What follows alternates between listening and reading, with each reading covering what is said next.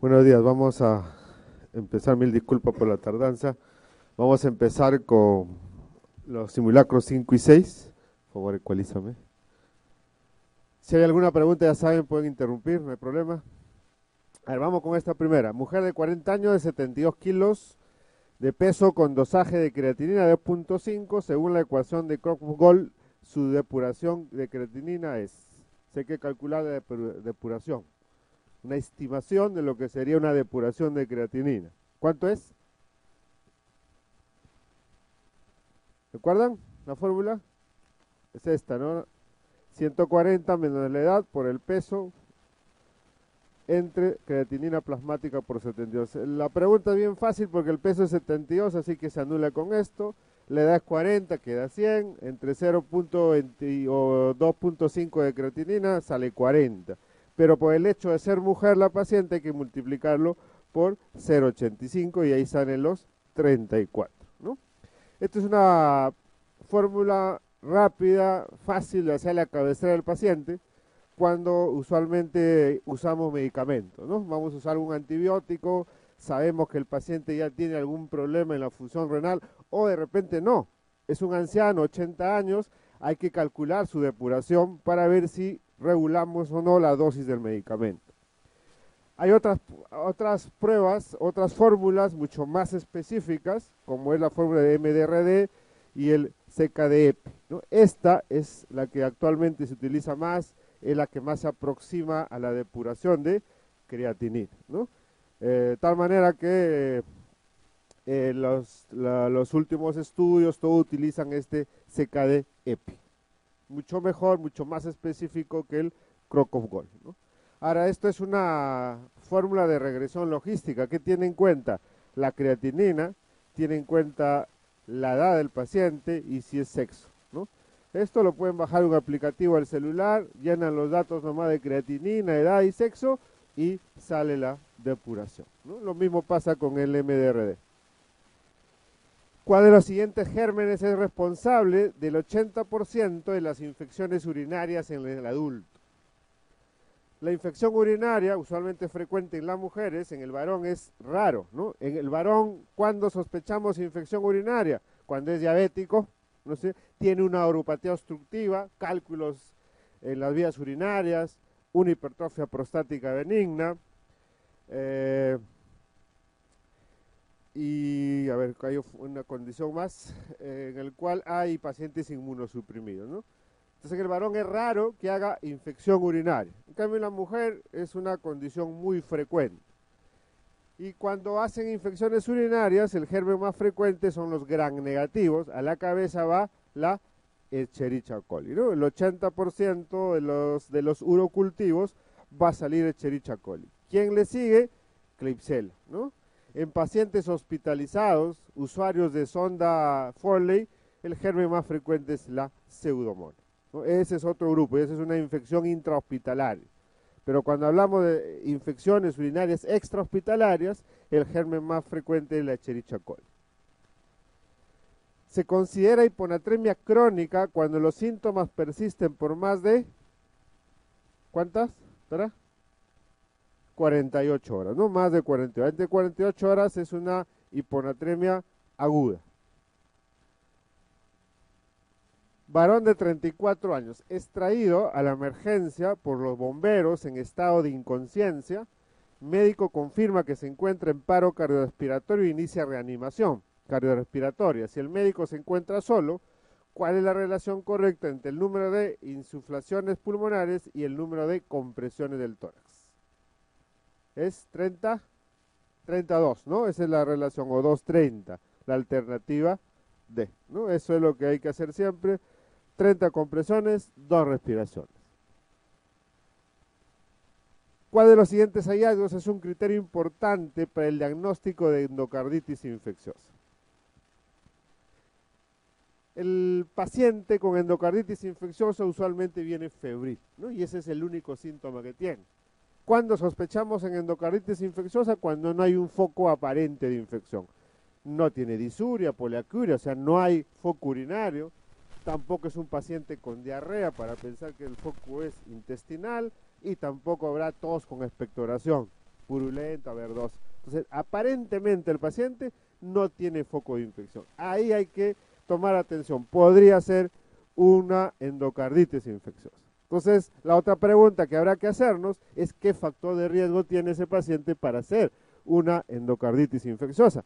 También otras infecciones en este rubro de sin foco aparente está la brucerosis, la fiebre tifoidea. No hay foco aparente de infección.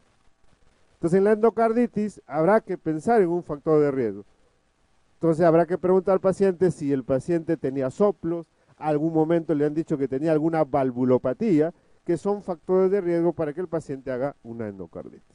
Muy bien, entonces probablemente el paciente me diga, sí, hace un tiempo me dijeron que tenía un soplo cardíaco, pero lo dejé, ya no, me, eh, ya no seguí mis controles. Entonces estoy sospechando que esta es una endocarditis infecciosa. ¿Cuál sería un criterio mayor para plantear el diagnóstico de endocarditis infecciosa? Es lo que están preguntando, criterio mayor o criterio importante. La tomografía no nos sirve, ¿no? La fiebre es un criterio menor, hemocultivo positivo es criterio mayor, pero hemocultivos, ¿no? Por lo menos dos o más cultivos positivos, ¿no? Nos, indicarán una endocarditis. Es criterio mayor, pero no solamente uno, sino dos o más. Ecocardiografía es otro criterio positivo. ¿Qué se busca en la ecocardiografía? Masas, vegetaciones o también nos puede informar la ecocardiografía la presencia de valvulopatías, ¿no? También es un criterio mayor. Entonces, la respuesta acá sería ecocardiografía. Acá la C no es respuesta porque solo está considerando un hemocultivo. Si nos diría hemocultivos positivos, que es otra pregunta que se hizo en otro año, también hay una pregunta muy similar, pero en el cual te ponen aquí sí hemocultivos positivos. Y esa es la respuesta, ¿no? En este caso la respuesta sería una ecocardiografía positiva. Entonces tenemos los criterios de Duke para plantear el diagnóstico de endocarditis infecciosa. Te dice dos hemocultivos por lo menos positivos. Ah, por supuesto tiene que ser el mismo germen, ¿no? Hay veces pasa que el primer hemocultivo salió un germen, vamos a poner Escherichia coli, en el segundo sale estafilococo aureus. No es congruente, entonces debe haber ahí una contaminación. Los dos tienen que darnos el mismo germen.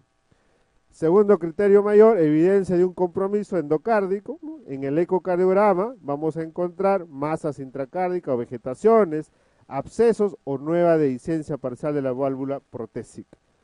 O encontramos también nuevo regurgitación valvular. Y acá están todos los criterios menores, fiebre, fenómenos vasculares, inmunológicos, evidencia microbiológica y hallazgos ecocardiográficos compatibles que no son coadyuvantes de una enfermedad. Miren, acá está, dos criterios mayores se puede hacer diagnóstico, o un mayor y tres menores, o cinco menores. Acá está más especificado, ¿no? Que cuáles son los fenómenos vasculares, son las embolias, hemorragias, fenómenos inmunitarios, glomerulonefritis, las manchas de Roth, los nódulos de Osler. Paciente con traumatismo cráneoencefálico que abre los ojos ante un estímulo doloroso, emite sonidos incomprensibles y localiza dolor. Tiene una puntuación en la escala de Glasgow de todo paciente con trastorno de sensorio, sea de origen traumático o no, hay que evaluar su estado de conciencia a través de la escala de Glasgow. Me permite ver el pronóstico del paciente, hacer seguimiento en el tiempo para ver si está empeorando o no de un día a otro. ¿Cuánto sería? Para que recuerden, respuesta ocular es cuatro puntos arriba, luego viene más abajo respuesta verbal 5 y más abajo respuesta motora 6. 4, 5, 6, para que no se olvide. Respuesta ocular espontánea, no está en estado de vigilia, está despierto, cuatro puntos, ¿no? Vamos a pasar al, al grafiquito, acá está, ¿no? Espontánea, cuatro puntos, al llamado 3, o sea, lo tengo que despertar, lo llamo por su nombre, ¿no? Y el paciente abre los ojos y de ahí se vuelve a dormir. Al llamado no responde, ahora es al dolor, ¿no? Le produzco un estímulo doloroso y recién abre los ojos, dos puntos. Y si al, ni al dolor abre, un punto. Ese probablemente esté un paciente en coma, ¿no? Que no responde al dolor. Respuesta verbal, Una respuesta orientada, puede conversar contigo, cinco puntos. Confusa, cuatro. Palabras inapropiadas, tres. Emite sonidos incomprensibles, dos. Y no habla nada, uno. Respuesta motora, a la orden, levante la mano, levante la pierna, me obedece, seis puntos. Localiza dolor, ya no al llamado, ya no me, o a la orden, ya no me obedece, pero le genera un estímulo doloroso y me puede localizar el estímulo, ¿no? Por ejemplo, le peñizco la tetilla y me agarra la mano, capaz de localizar. Retira ante el estímulo, hace maniobra de retirada, no te puede localizar, pero hace maniobra de retirada. Flexión de decorticación, así, como ve la figura, y extensión de descerebración. Y no hay ninguna respuesta motora, 1. En el paciente teníamos que abre los ojos ante un estímulo doloroso, van 3. Eh, sonidos incomprensibles, ¿cuánto era? 3 también, 2. 2, 5. Y eh, localiza el dolor, 4 puntos. Ahí están los 9 puntos. El tipo de afectación articular más frecuente al inicio de una artritis reumatoidea es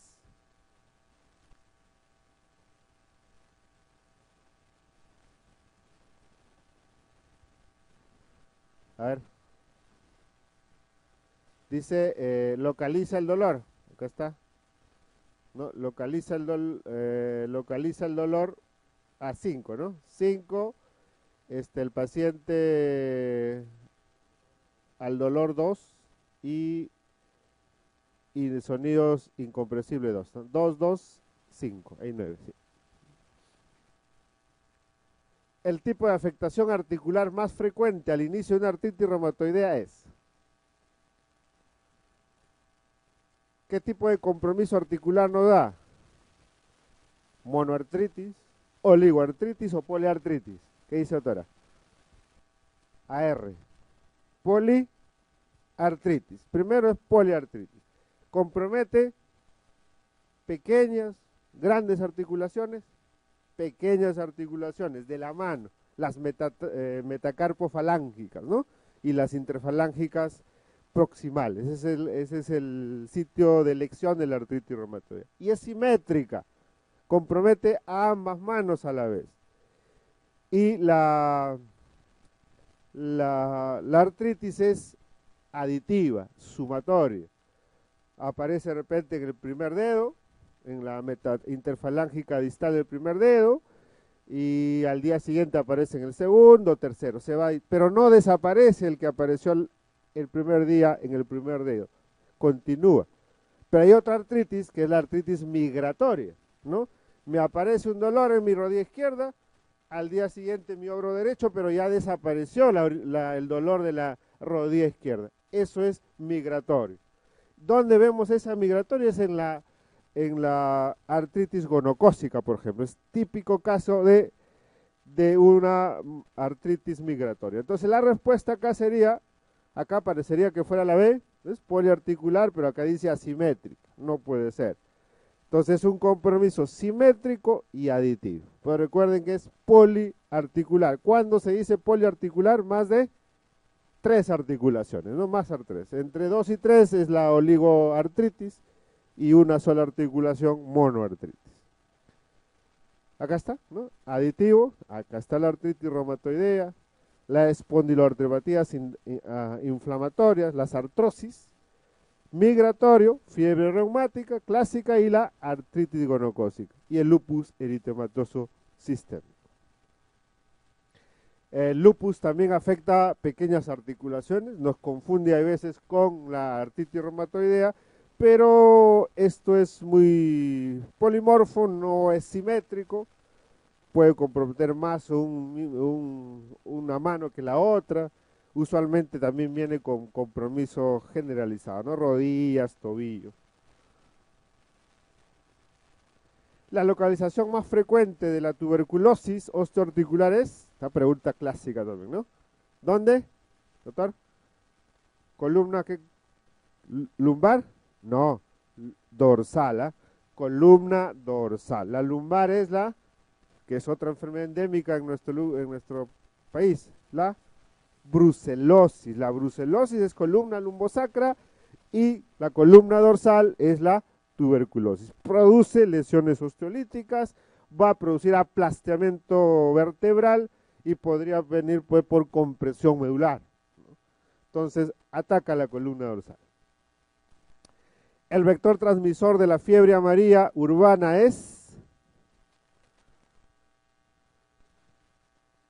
¿Cuál? ¿Sora? ¿Qué marca? El Aedes, ¿no? El Aedes, el mismo que es vector también para el dengue, ¿no es cierto? Es el mismo vector. Varón de 45 años, con diabetes, presión arterial 140-90, microalbuminuria en tres pruebas consecutivas, colesterol total 200 miligramos, creatinina 0,95. ¿Cuál es el tratamiento adecuado?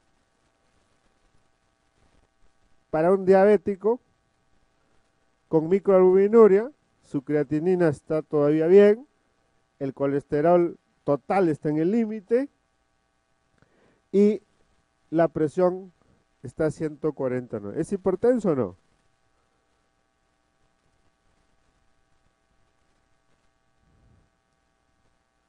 Sin la última guía no, ¿no?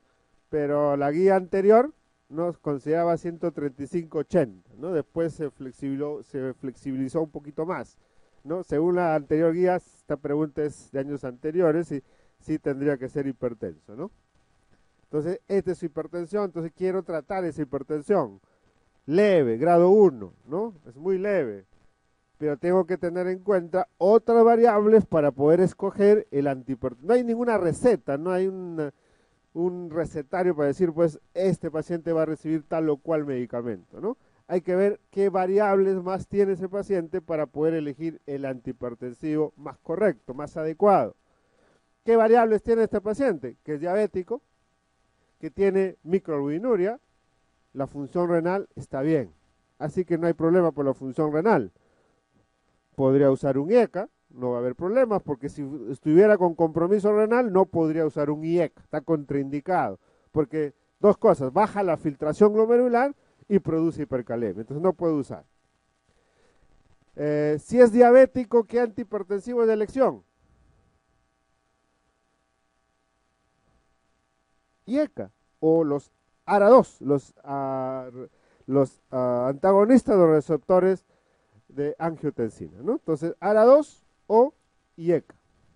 Si fuera moreno, de raza morena, ¿cuál sería la elección? Beta 2, ¿no? Beta 2 bloqueadores y calcio-antagonistas. Ah, si fuera hipertenso e hipertiroideo, ¿cuál sería la elección? beta bloqueadores, el propanolol, que también tiene efecto bradicardizante y efecto de hipotensor. Entonces hay que tener en cuenta eso. Es hipertenso y tiene eh, hipertrigliceridemia, dislipidemia, predominio de triglicéridos. ¿Qué no usaría, por ejemplo, en ese paciente? No puede usar los tiacídicos. Los tiacídicos producen incremento del ácido úrico, incremento de los triglicéridos. No podría usarlo. Entonces, como diabético y con microalbuminuria, sería de elección un IECA. ¿Por qué? Porque el, IECA ¿no? disminuye la proteinuria. A largo tiempo, más de cinco años de uso de este fármaco, no es un efecto inmediato, vas a lograr que el paciente vaya, mejore su proteinuria y demore más en, en ir a insuficiencia renal crónica. O sea, aumenta la sobrevida del órgano evita que llegue fácilmente a hemodiálisis el paciente. Entonces ya por ese punto de tener microalbuminuria y diabetes, la indicación sería un IECA, un ARA2, ¿no? No estaría contraindicado porque tiene creatinina normal. Como es hipertenso, definitivamente dieta baja en sal, entonces podrían ser las cuatro primeras. Eh, por la diabetes y la microalbuminuria va un IECA, los sartán, entonces ya estoy entre la C y la D y acá agregan atorvastatina. La C no tiene atorvastatina. Entre amlodipino y ECA, de hecho, en, orden es mucho mejor, tiene más efecto antiproteinúrico los IECA. También los cancetonistas, pero está en segundo lugar. Por eso que no escogería la, la, la alternativa B. Entonces está entre la C y la D y la única diferencia es la estatina. Pero su colesterol total aparentemente está normal, ¿no? Pero realmente para dar tratamiento yo no me fijo en el colesterol total, sino en el colesterol LDL, que no está ahí. Entonces, puede que su colesterol total esté normal, pero su LDL podría estar elevado. ¿Cuánto es el objetivo en un diabético? ¿Cuánto debe estar el LDL?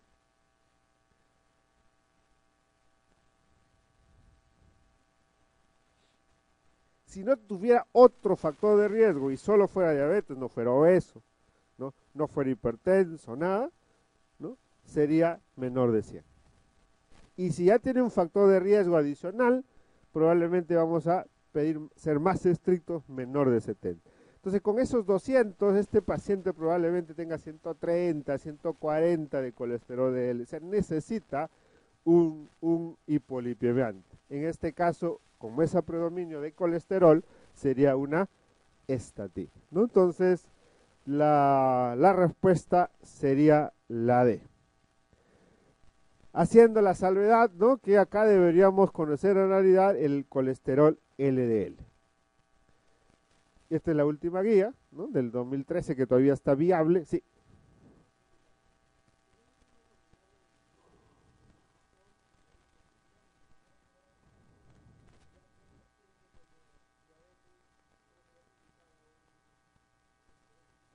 Ahí estamos a ver. Miren,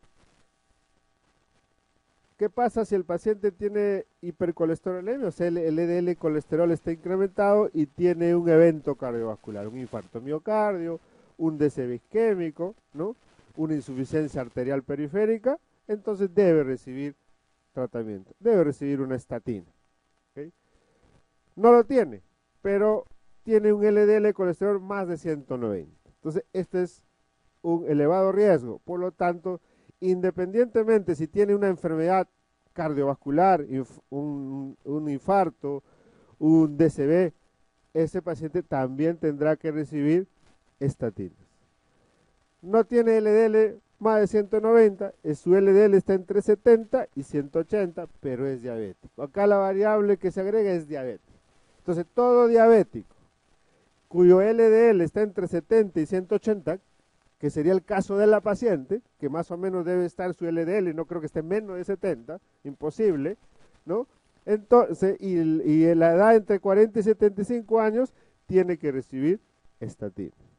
Todo diabético, ¿ah? independientemente de tener otra cosa, todo diabético con este nivel de, de colesterol LDL más de 70 tendría que recibir, porque el objetivo es llevarlo a un LDL menos de 70. Ahora, ¿qué pasa si no es diabético? Acá está. Este no es diabético, es prevención primaria, ¿no? O sea, este paciente ah, no tiene otra cosa que su LDL entre 70 y 189, pero no es diabético, ¿no? Entonces, aquí hay que valorar, ¿no? El riesgo cardiovascular, ¿no? A 10 años, ¿no? Esto ya existe una formulita también que se puede bajar por el celular.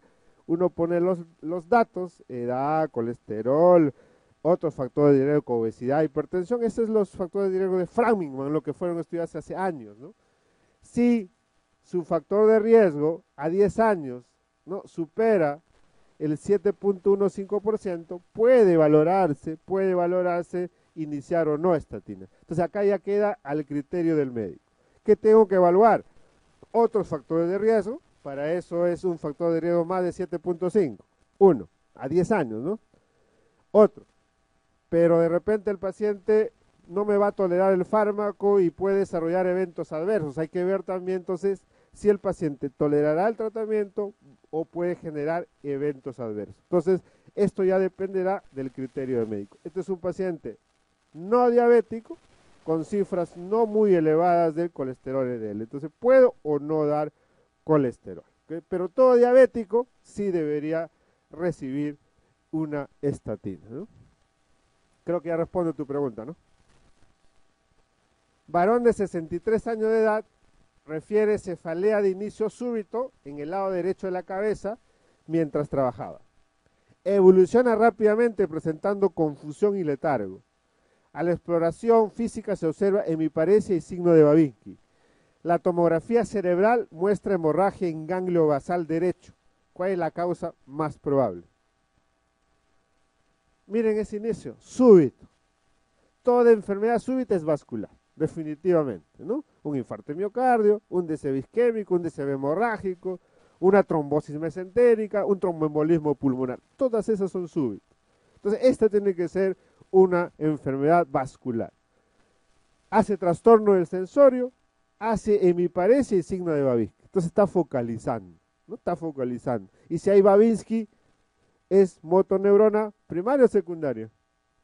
Primaria, central, ¿no? Entonces, aquí este paciente está haciendo un evento vascular. O sea isquemia o sea un sangrado, una hemorragia. Le toman la tomografía y encuentran una hemorragia en el ganglio, basal, ¿no? Ahí por donde está la cápsula interna, ahí están los ganglios basales. ¿Qué enfermedad usualmente nos produce DCB tanto isquémico como hemorrágico en ganglios basales? La hipertensión. Ese es clásico. ¿ah? Paciente con hemiparesia derecha, ¿no? Tomografía, le encuentro ganglios basales. El paciente nunca tuvo historia de, hipertensión, o por lo menos lo niega, o no sabe, no se tomó. Y yo encuentro ese sangrado, entonces digo, este paciente es hipertenso, ¿no? Y le tomo la presión y le voy a encontrar presión alta usualmente, Entonces, cuando es en ganglios basales, no, lo más probable que es por hipertensión arterial. Si es otra localización, ahí sí tengo que buscar malformación arteriovenosa, pues, ¿no? O de repente un trastorno de coagulación. La prueba eh, de mayor sensibilidad para diagnosticar anemia ferropénica es esa es una pregunta fácil, ya lo hemos dicho varias veces. Doctora, ¿cuál es? La prueba de mayor sensibilidad.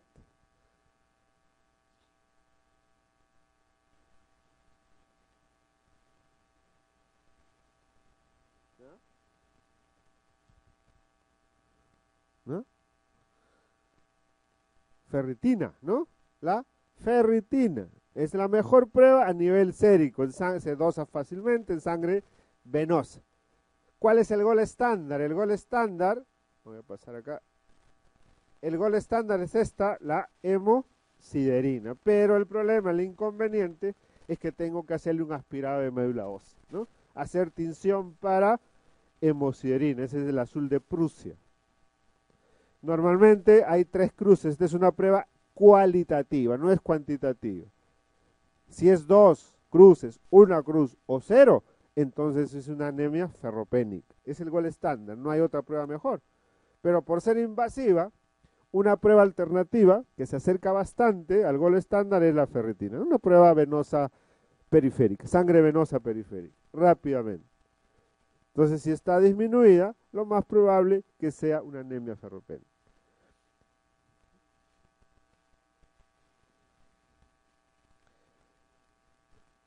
Cuando eh, se dice gol estándar, se eh, supone que la prueba es más, de mayor especificidad y sensibilidad. Usual, idealmente sería 100%, ¿no? De especificidad, 100% de especificidad. Pero eso no existe porque cada vez que aumenta la sensibilidad de una prueba, un poquito baja la especificidad, ¿no? Entonces, una buena prueba, un gol estándar, estamos hablando de 98, 99% entre especificidad y sensibilidad, ¿no?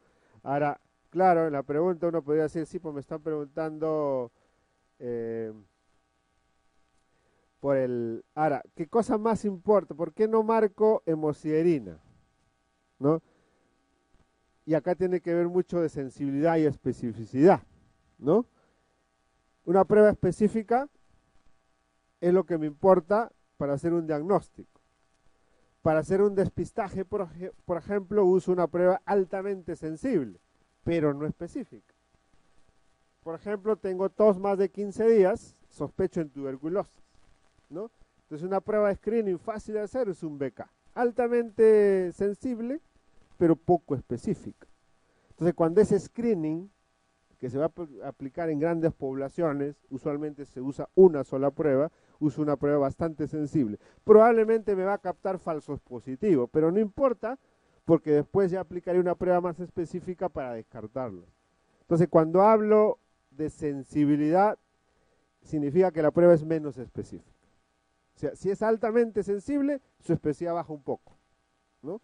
Entonces, esta, la hemosiderina, sí sería una prueba altamente específica, que sería otra forma de preguntar. ¿no? ¿Cuál es la prueba más específica? Acá si me preguntaran especificidad, la respuesta sería la E. Pero como es sensibilidad, es la ferritina. Es más sensible, pero menos específica que la hemosiderina. La hemosiderina es más específica, pero menos sensible que la ferritina. ¿Ya se entiende? ¿no? Usualmente, esa es otra forma también que preguntan, cuando uso eh, despistajes, uso una prueba altamente sensible, sin importarme su especificidad. Ejemplo, el ANA, anticuerpos antinucleares, ¿no? Estoy sospechando el lupus, pero no solamente viene por plaquetopenia, baja probabilidad de ser un lupus. Estoy sospechando de repente que es una PTI primaria, entonces, este, bueno, solo quiero hacer despistaje, voy a solicitar una prueba altamente sensible. ANA me sale positivo, pero entonces no significa que sea lupus, ¿no? Es alguna enfermedad autoinmune, porque es poco específica, entonces ya tendré, cuando ya quiero hacer el diagnóstico preciso de lupus, tendré que pedir una prueba más específica, que es el anti-DNA o el anti-Smith, ¿no? Entonces, eso quiero que entiendan. Una prueba altamente sensible lo uso para despistaje y una prueba altamente específica lo uso para diagnóstico, ¿no? Entonces, el gol estándar, el gol estándar sería aquella que tiene mayor especificidad, ¿no?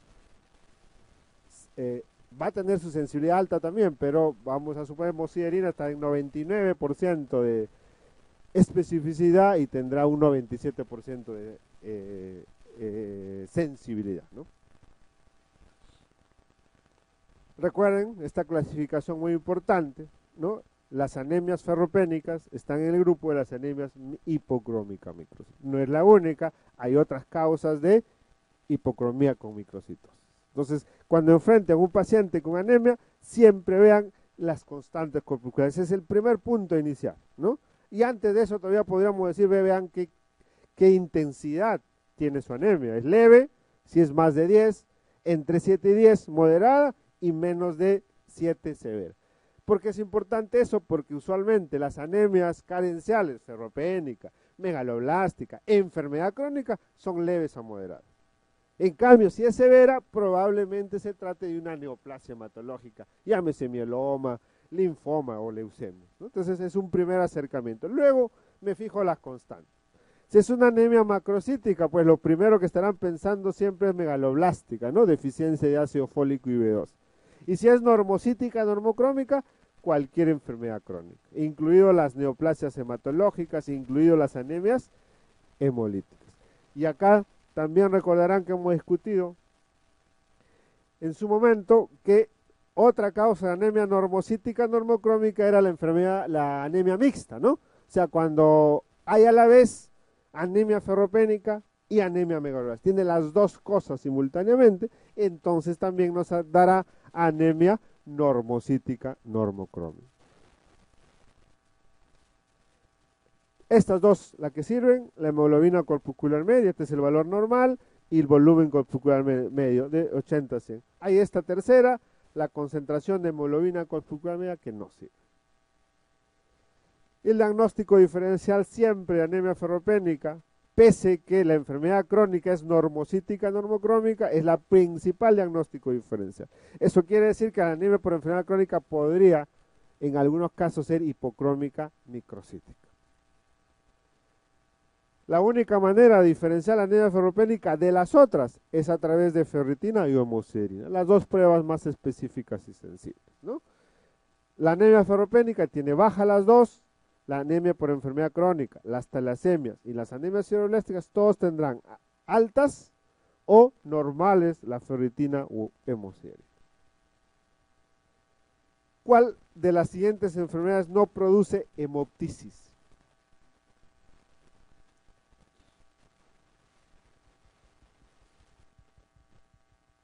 Estenosis mitral es una enfermedad, al haber estenosis mitral, aumenta la presión en la aurícula izquierda ¿no? Y eso se va a transmitir al pulmón. Hay hipertensión pulmonar, entonces puede haber expectoración hemoptoica o hemoptisis.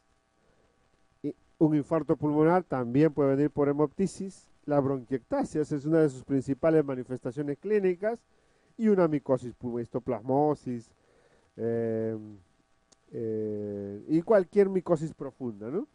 La estenosis aórtica no. ¿Cuál es la triada de la estenosis aórtica? Esa sería la excepción. La disnea, angina, dolor anginoso, ¿no? Y eh, síncope, ¿no? Sensación de desvanecimiento, lipotimia, porque baja el gasto cardíaco. Son preguntas típicas. ¿ah? La estenosis mitral da expectoración hemoptoica, como hay crecimiento auricular, va a producir fibrilación auricular. Entonces, una de sus manifestaciones es fibrilador, eh, da expectoración hemoptoica, y como es fibrilador, ese paciente puede venir por un cardioembolismo, o sea, un DCB isquémico. La que nos falta acá, la insuficiencia mitral. También otra pregunta clásica. ¿Qué hay en la insuficiencia mitral? O insuficiencia aórtica, ¿no? La insuficiencia aórtica, la presión diferencial se hace amplia, ¿no? Por decir, vamos a suponer que tiene 100 con 50. Pulso saltón, pulso en martillo de agua, ¿no? Eso es clásico de la insuficiencia aórtica. El antídoto en sobredosis de la heparina es, ya no se usa, ¿no? Pregunta antigua, pero todavía podrían preguntarnos. Ya casi no se usa la heparina sódica, la heparina cálcica, la heparina no fraccionada. ¿Cuál es el antídoto, doctor? El sulfato de protamina, ¿no? Y si no hubiera sulfato de protamina, plasma fresco congelado, no hay otra, ¿no? Acá está, la heparina no fraccionada, la cálcica o la sódica, cuando me paso, me sobrecoagulo, le puedo administrar protamina. Y si no hay protamina, recién será un derivado de la sangre, el plasma fresco congelado. La heparina de bajo peso molecular, enoxaparina, fraxiparina, fondaparinox, etc. Estos no hay otra cosa que si sobrepaso, ¿no? en dosis, plasma fresco congelado. No tiene, no tiene un antídoto, ¿no? Eh, eso implica pues que hay riesgos al poner, al poner un hemodiderivado. Por eso yo debo usar hemodiderivado solamente cuando sea estrictamente necesario. A pesar de pasar por banco de sangre, hacerse el despistaje de VIH, hepatitis B, hepatitis C, no puede pasar, porque esto tiene sus periodos ventana, puede pasar por alto y estar pues yo transfundiéndole una más las hepatitis que el VIH en realidad es más riesgo de hepatitis, ¿no? Y el paciente puede infectarse. Entonces, por eso hay que usar solamente cuando sea estrictamente necesario. Si hay una, un antídoto, habrá que usar su antídoto y no usar plasma fresco. Warfarina. Su antídoto es la vitamina K. Pero el problema de la porque ¿qué hace la warfarina? No, inhibe el metabolismo de la vitamina K. Entonces, al no haber vitamina K, no se activan los factores de coagulación vitamina K dependientes. 2, 5, 7, 9. Entonces viene ¿no? Eh, el efecto anticoagulante que tiene el paciente. Entonces, cuando se sobrepasa y el paciente vendrá por sangrado, no podría darle vitamina K porque esto actúa en 24, 48 horas. Se tarda mucho. Entonces, de repente viene porque aparece hematomas, equimosis el paciente. Ese paciente ya está sangrando, tiene un alto riesgo de hacerme un DCB hemorrágico yo le empiezo vitamina K y de repente al día siguiente o en la noche me hace un DCB hemorrágico. Es mucho riesgo. Yo tengo que regresar ese, ¿cómo lo controlo a la warfarina? Con el INR, pues, ¿no? Entonces ese INR que puede estar de repente en 10, 8, tengo que regresarlo a valores normales. Para eso tengo que usar plasma fresco congelado. Entonces, si un paciente sangra, en realidad, independientemente del INR que le encuentre, el paciente debería recibir plasma fresco congelado, no solamente vitamina K. No, porque la vitamina K va a actuar 24 48 horas, es el tiempo suficiente que el paciente podría hacer un sangrado mayor y morirse por un DCB hemorrágico. ¿Qué pasa si el paciente no sangra? Entonces este usualmente va a ser un paciente que viene al consultorio. está anticoagulado, es un fibrilador, por ejemplo, anticoagulado con warfarina, viene a su control, le encuentra un INR más de 10, pero no sangra. Es de bajo riesgo que aún DCB hemorrágico. Por lo tanto, aquí sí le puedo dar vitamina K. Como no está sangrando, acá sí le doy vitamina K. Claro, vitamina K y suspendo la warfarina. No podría seguir dándole. Suspendo, le doy vitamina K. Acá lo mismo, cuando está sangrando, suspendo warfarina y plasma fresco. ¿Qué pasa si no sangra y el INR está menos de 10, 8, 5? El INR debe estar entre 2 y 3, ¿no? Ese es el objetivo, 2 y 3. Si el INR está menor de 10 y no sangra, simplemente suspendo el tratamiento. No doy vitamina K. ¿Cuánto espero? 3 a 5 días. Un nuevo control de INR ya normalizó y nuevamente empiezo el tratamiento para porque si recibe warfarina es porque lo necesita. Seguiré su anticoagulación, pero yo no a la dosis que recibía, sino a la mitad de la dosis. Vamos a suponer que recibe una tabletita de 5 miligramos, entonces cuando regrese nuevamente al tratamiento le daré media tableta diaria, ¿no? Y control en una semana de INR. ¿Y qué pasa si está usando los nuevos anticoagulantes orales, ¿no? Que son inhibidores del factor 10, como el rivaroxaban o el apixaban. Estos no requieren control, ¿no? Mientras la warfarina lo controlo, la anticoagulación con el INR, la heparina no fraccionada cálcica o sódica lo controlo con el tiempo de tromboplastina parcial, el TTP. La hemoglobina de bajo peso, o perdón, la heparina de bajo peso molecular no necesita control, es estable en los trabajos de investigación se adosó el factor 10 activado, ¿no? Para ver si anticoagulado. Pues en todos los pacientes logró anticoagular. Entonces ya en el uso clínico no se pide, ya no se controla. Ya todos se anticoagulan a una dosis por kilo de peso. Lo mismo pasa con los anticoagulantes de vía oral. No necesitan control. Ya todos están anticoagulados. Eso ya se estableció en los ensayos clínicos, ¿no? Cuando se hizo en la etapa de primeras, todo el, proceso de desarrollo de una droga, de primera fase de experimentación en animales, eh, luego viene la fase de, la fase 1 que es en voluntarios sanos, ¿no? Entonces así va pasando. Entonces ya se demostró no necesita control.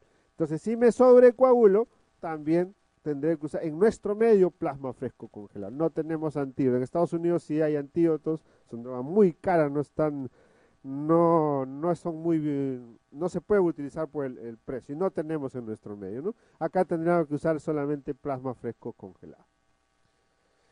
En embolia pulmonar, el resultado más frecuente en la radiografía de tórax es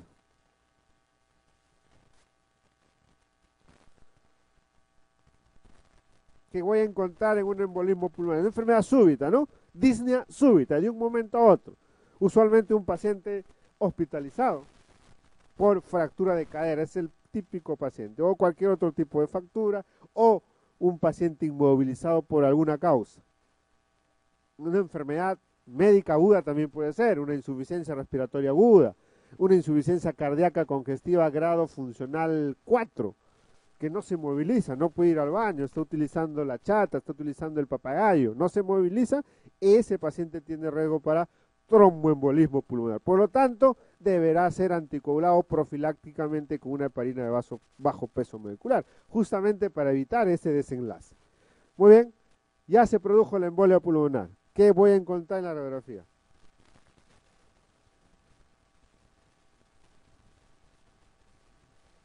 Nada, pues, ¿no? Nada. Lo más frecuente es que no encuentre nada, ahí sospecho, ¿no? Justamente cuando un paciente hace disnea súbita, le toma una radiografía, no hay nada, ah, esto debe ser embolia pulmonar, ¿no? Porque si encuentra un consolidado, ah, será una neumonía intrahospitalaria, ese paciente está haciendo una neumonía hospitalaria. Entonces el hecho que no encuentre nada es bastante sugestivo que sea un, un embolismo pulmonar. Y ahora hay que ver cuáles son los factores de riesgo para embolia pulmonar. Entonces aquí tenemos los criterios de Well, creo que tengo acá, acá. Estos son los síntomas y signos. ¿no? Miren los, los síntomas y signos más frecuentes. Disnea, dolor torácico, paciente va a estar taquimneico, taquicárdico y desaturando, ¿no? La saturación menos del 90%. Y a los, los más raros, ¿no? Hemoptisis, cuando hay hipertensión. Esto es cuando hay un tromboembolismo masivo. Puede dar hemoptisis, puede dar hipotensión arterial. Eso ya es un shock hipovolémico, eh, o shock hipovolémico, sí, por un tromboembolismo masivo. Eh, otra cosa pregunta de tromboembolismo pulmonar es el hallazgo eh, electrocardiográfico más frecuente en el embolismo pulmonar. Eso ya lo preguntaron. Es la taquicardia sinusal. Y otro atípico raro que podrían preguntarnos es este complejo de McGinn-White. Es el patrón S1, Q3 y T3. ¿Qué significa? En la derivación 1 voy a encontrar la onda S. Miren, acá está la onda RS. En D1, ¿cómo es normalmente la... Eh, el complejo? En D1 usualmente es casi todo positivo, casi todo. Es una R y puede haber de repente una S chiquita. ¿ok? Pero acá miren, e, esta S es casi de la, o mucho más que la D incluso. ¿no? Esto no es normal. Normal es que haya la R y ahí muere una chiquita S de uno o dos cuadraditos que puede haber, nada más. Eso es lo normal en D1, D2 y D3. Todas esas derivaciones de miembros de 1, de 2, 3, todos casi son ondas positivas, no hay ondas negativas, no hay ondas S. Cuando aparece una onda S, eso es característico del embolismo pulmonar. Eso es S en derivación 1. Onda Q en derivación 3. Acá está. En derivación 3 hemos dicho casi la, lo que hay es RS, una S muy chiquita, eso es lo normal. Pero acá aparece una Q que no debería haber. ¿No? Y es en la única derivación, porque si no también sería un infarto de miocardio, ¿no? Pero es una sola derivación en el cual aparece, por entonces no podría ser un infarto de miocardio. La onda Q, miren esa Q profunda, QS. Y también en la derivación 3 aparecen las T negativas. Esos tres hallazgos, la presencia de S en derivación 1, en derivación 3 T negativas, con la presencia de onda Q, ese es el complejo de Magin-White, ¿no? Es en el MIR, preguntan bastante, ¿no? En recientado todavía no ha venido, pero podrían ser preguntados, ¿no? Podrían preguntarnos. Cuando el tromboembolismo es masivo, entonces hay hipertensión pulmonar y te podría desviar el eje a la derecha. Puede haber también ¿no? bloqueo de rama derecha en tromboembolismos masivos. Aquí está, entonces, una disnea súbita sospecho que es embolismo, hay que ver los factores de riesgo. Entonces, ¿cuál es la probabilidad de ser una embolia pulmonar? Entonces, eh, eh, aplicamos la escala de. ¿no? Posibilidad diagnóstica, o sea, que no haya, no haya otra posibilidad diagnóstica, no hay otra cosa que explique esa disnea súbita. Que no tenga una neumonía, que no sea una insuficiencia cardíaca. No tiene insuficiencia cardíaca, no tiene neumonía, no tiene derrame. Entonces, altamente probable que sea otro embolismo. Tres puntos. O sea, cuando no hay otra explicación de esa disnea. Signo de trombosis venosa profunda, ¿no? De repente el paciente tiene edema del miembro inferior, dolor. Si tiene trombosis venosa profunda, tres puntos, alta probabilidad. Antecedentes de tromboembolismo pulmonar o trombosis venosa profunda, también le dan, no es tan fuerte el antecedente, pero le dan un punto. Taquicardia, más de 100, ¿no? 1.5 puntos cirugía o inmovilización, cáncer, cualquier tipo de cáncer es un factor de riesgo, la misma hemoptisis. Entonces se suman los puntajes, si tiene más de 6 puntos es altamente probable de ser un tromboembolismo pulmonar, por lo tanto hay que tratar a ese paciente. independiente si le voy, a, habría que confirmar, ¿cómo confirmaría? ¿Cuál es el gol estándar? La tomografía helicoidal multicorte, una tomografía para comprobar. Pero independientemente, mientras espera hacerse eso, este paciente ya debe ser anticoagulado plenamente porque es alta probabilidad. En cambio, si es probabilidad intermedio baja, se pide el dímero D. Acá está, miren. Acá está el score de Well, todo es lo mismo, ¿no? Si tiene más de 6 puntos, altamente probable, ¿no? Anticoagulamos, ¿no? O hacemos una tomografía multicorte, comprobamos y tratamiento. ¿Qué pasa si el score es menos de 6, que es riesgo de leve a moderado? Entonces pedimos el dímero D. Si el dímero D es negativo, ¿no? descarta un tromboembolismo.